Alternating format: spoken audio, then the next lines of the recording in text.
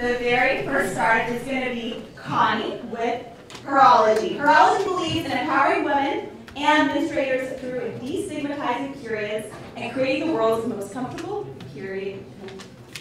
Get it.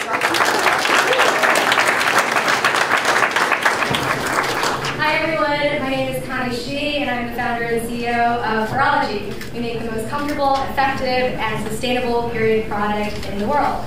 Growing up, my family never really talked about periods. I grew up thinking that they were something embarrassing, taboo, and even shameful. I started this company because I didn't want other women, girls, and menstruators experiencing the same thing.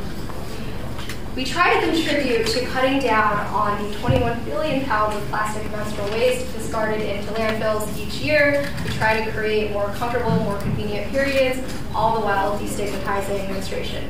We do this by creating an easy to wash, reusable period panty, twice as soft and 10 times more sustainable than even cotton. Today we are raising our pre-seed round and we would love any connections to investors, mentors, or advisors, specifically in the CPG or apparel space. Thank you.